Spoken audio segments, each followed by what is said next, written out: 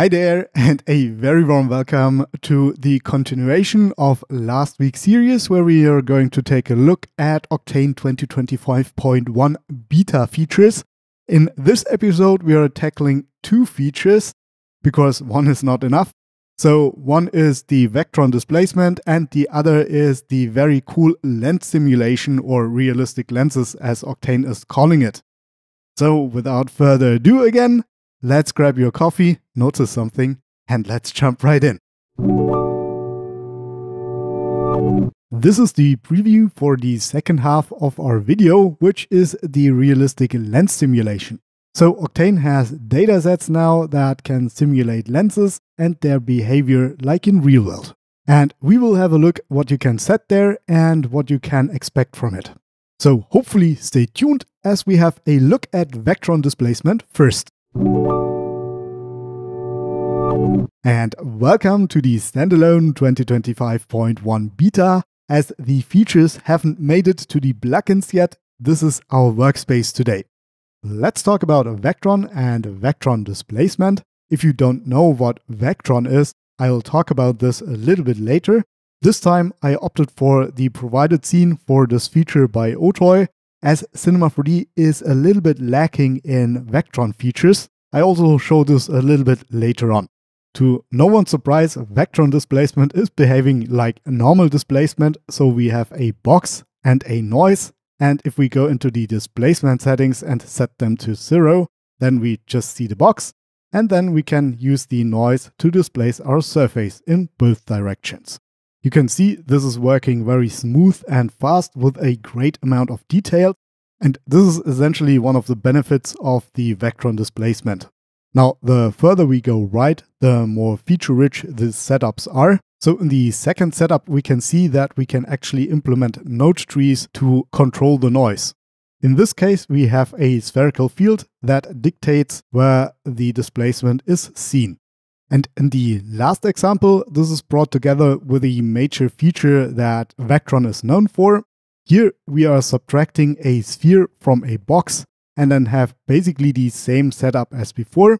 We have a spherical field that we can move around to dictate where the noise is actually visible.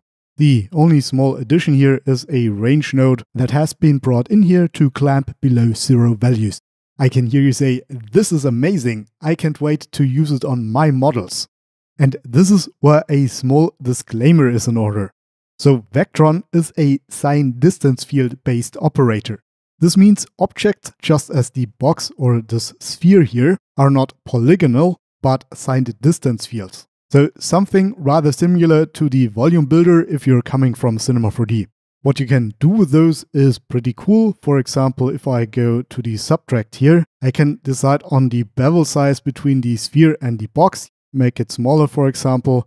I would need to make the sphere radius bigger, so you can see the bevel size is now much smaller and much sharper. Though to get this effect on your own objects, you would have to convert them into signed distance fields first. While I still love this feature, it's not as easy to use as you might first think.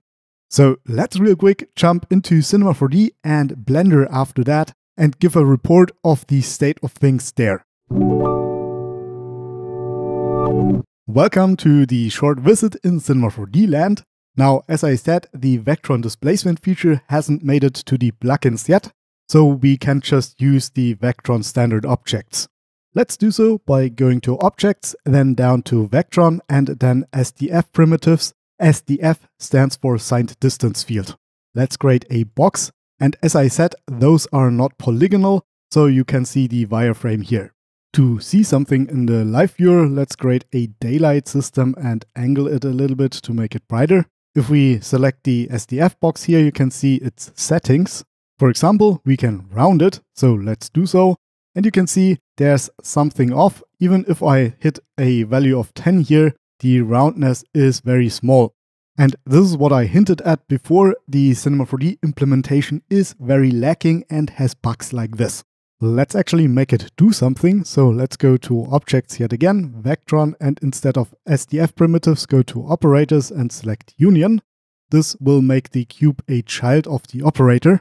And if we now duplicate the cube here, and then move it slightly, you can see there's a transition now from the one cube to the other. This also respects materials, so if we create a diffuse material real quick and give it some color here, and then assign it to the first cube, you can see it gives a nice transition from the one to the other. The huge caveat here is that this is a hierarchy-based system, which makes it really hard to implement coming from the node-based system that the standalone has. So fingers crossed for a node-based Vectron system in Cinema 4D in the future. Welcome to Blenderland. It has been a while. So in contrast to Cinema 4D, Blender Octane is using nodes.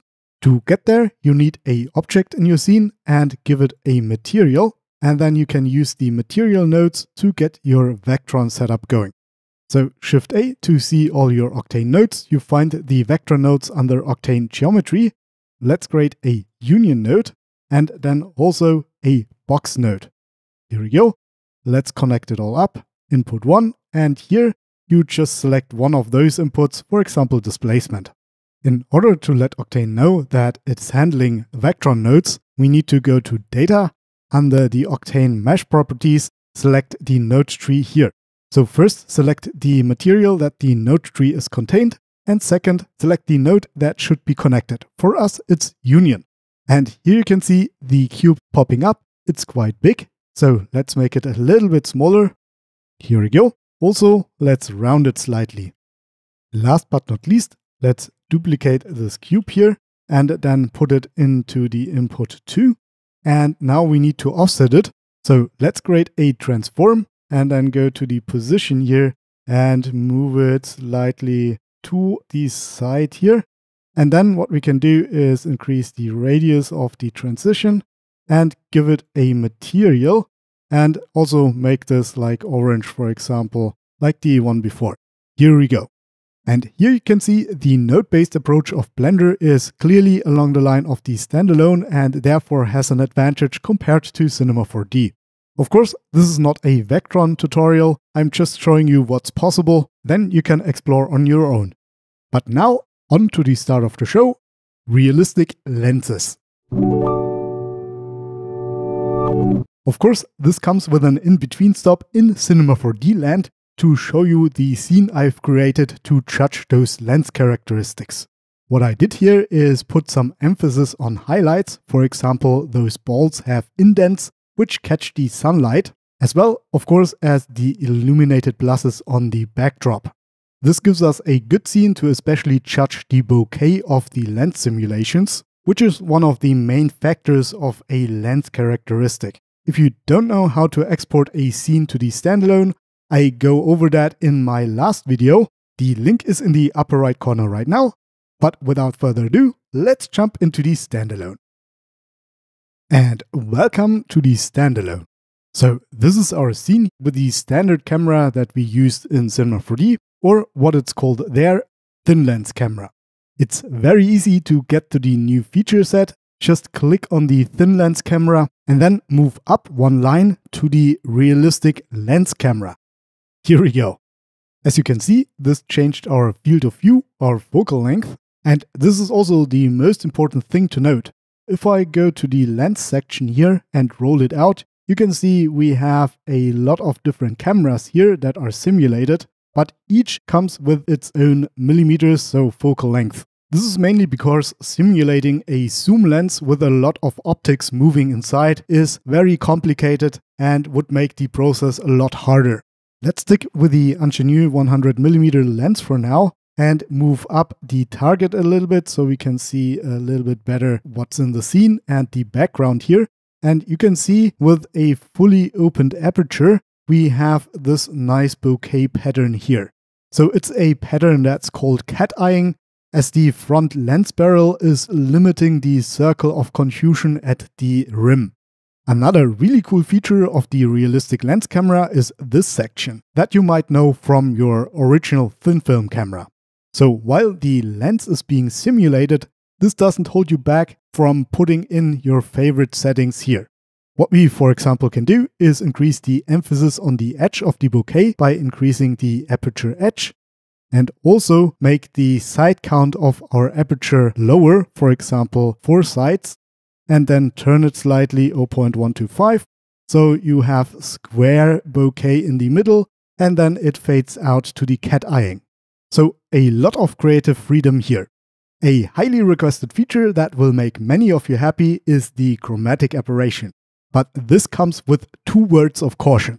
One, of course, it will increase your render time, and second, be careful with the slider, because if you push it all the way to your right, then you will be greeted with an alternate psychedelic universe. So let's be careful here and go with values between 5 and 15. So let's take the middle here, 10%, and let's render for a while.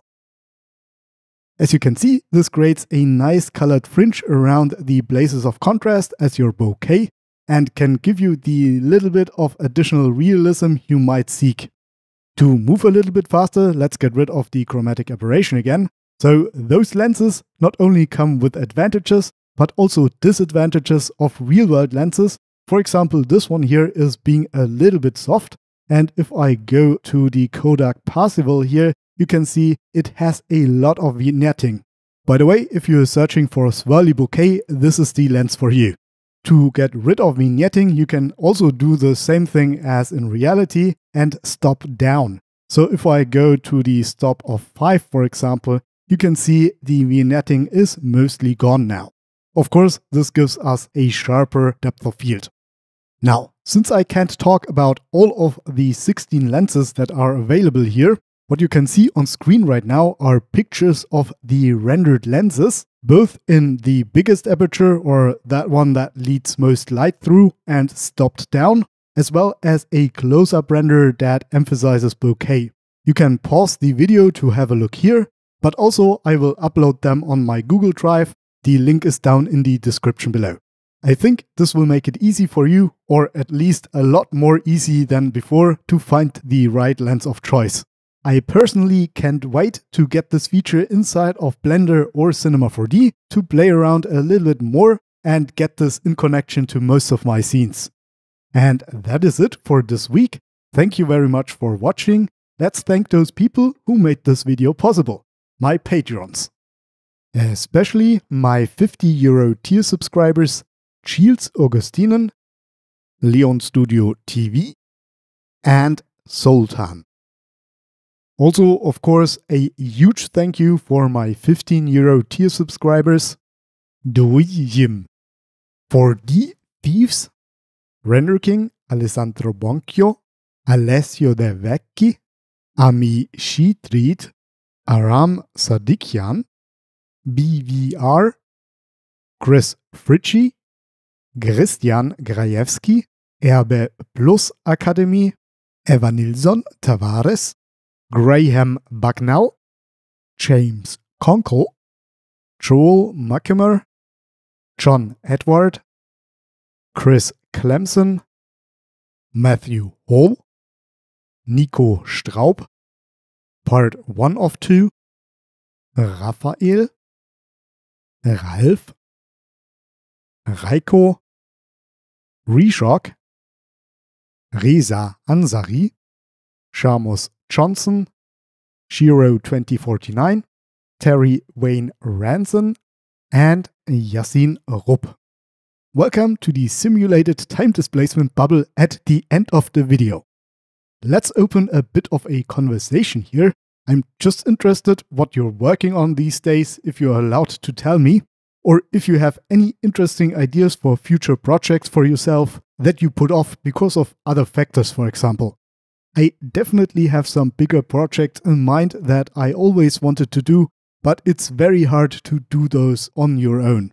I'm very sure you all know the feeling. Not sure if this was too off topic for the final last words. Let's go back to spec. If you want to show your support, let's post a telescope in the comments down below. Again, thank you very much for watching. I wish you a great Sunday and a good start into next week. If you're watching this later, simply a amazing time to you. And I say happy light bending and see ya. Bye.